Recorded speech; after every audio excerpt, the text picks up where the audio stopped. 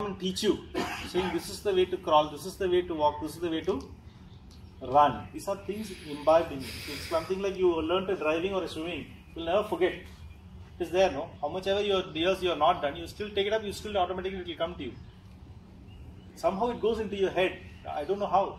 You put it in water, you, if you learn swimming, it's easy.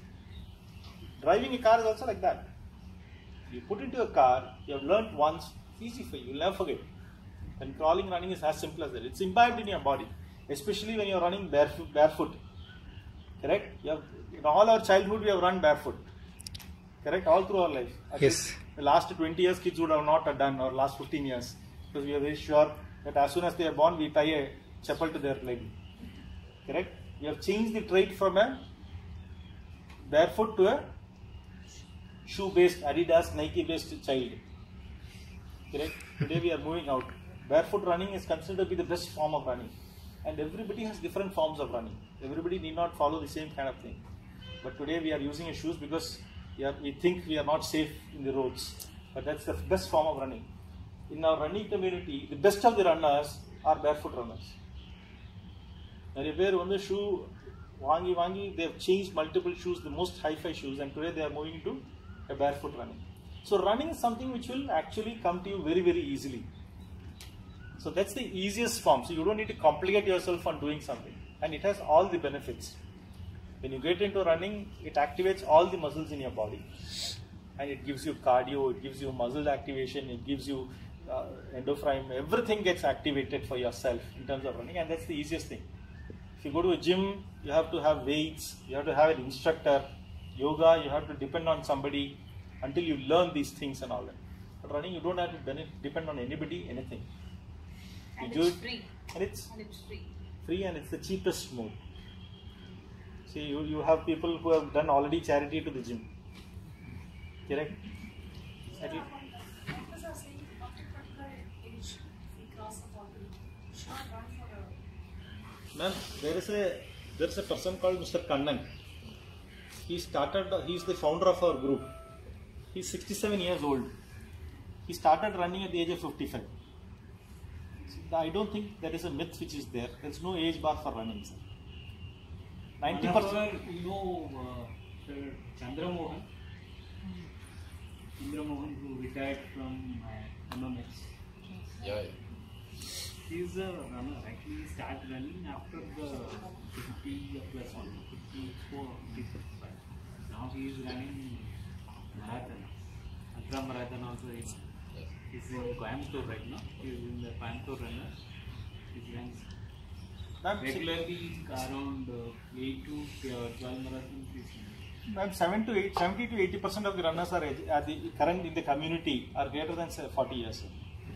Because, of, because because it's only then they realize that we have to do something Do for something for us.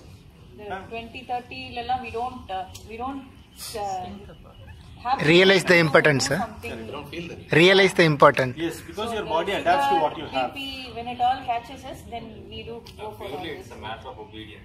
So get up, that's it. And if you feel that you are not doing it uh, when you are alone, very simple, join the chapter. Chapter, yes. Join the group which is nearby you. But That I do have heard works. uh, on what she said that uh, I mean, walking. People say I also read somewhere that walking is better than running, uh, less risky. Sir, uh, the, I'll tell you what the problem happens. Over a period of from after school, you would not have done any sports activity. Right. Correct. Now after that, suddenly you realize that spending for medicine is much costlier than doing something for ourselves. That's when you realize that you want to do it for something for yourself. Right. What happens is all these muscles which you have been not been using gets very tight. And at that point of time, when you start suddenly doing something, and initially when you start doing, there is a certain amount of pain which you'll have to go through to break that cycle. When you try to break that cycle, you have to go through a certain amount of pain. Yes, it is there. But that's where this advice of people who are professionals, or people who are running, or people who have been already doing this activity, are will help you here in this kind of a community. When you go to a gym, you depend on an instructor. The other one is if you go to yoga, you go to a master which is willing. If he says something and you still get a pain, you say this master is not okay and come off because you pay something here. Correct? You expect that the best thing should be given to you because I am paying. But here it is not like that. You go and expect a fresh and certain amount of pain, uh, this kind of a, a muscle pull or a, you, when you strain yourself. That is a transition which, which your body is getting moved to the next level. That pain. So the, the basic Not logic. I, I think all of you will, all of you will know is And that can uh, catch up at any age.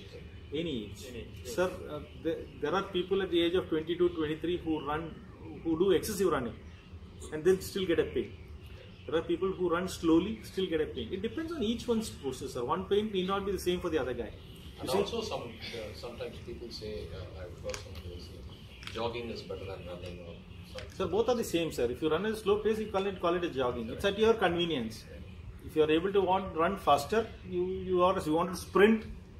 You because if you have the capacity, you still do it. There is something called uh, masters events, which happens for uh, greater than 45 years.